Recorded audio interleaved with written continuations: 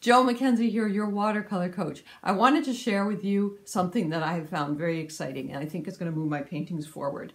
Let's look at this for a second. I'll hold it up really close, get rid of my face. You don't need to see my face. If you look really closely, you will see that I have put value dabs in the masses of dark. There are probably three or four different colors to create those masses. All right, now let's look at the next one.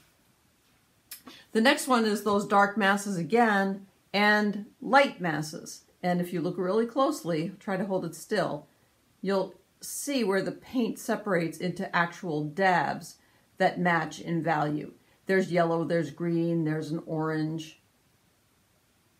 Okay, and I'll pull away. So I have my dark value masses, my light value masses. So what's left? Well, wherever it's white, I need to put my medium value masses. So I mix up medium values and plug those in.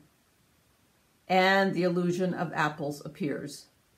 It's really an amazing thing that uh, painting and, and color is just an illusion. But you can see those are three-dimensional forms based on values, similar to, uh, you know, a round circle. The sun has to hit it at a, a certain angle, and then decisions are made based on lights, mediums, and darks, depending on that. So I hope that this visual is helpful to you, and uh, you can see from far away that they definitely do look like round orbs, which is the goal, because we're working on a flat white piece of paper.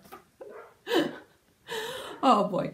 Uh, so remember to keep the whites of your paper white and your paints wet and come see me at jomackenzie.com and join my YouTube channel. And I'll see you next time. Bye-bye.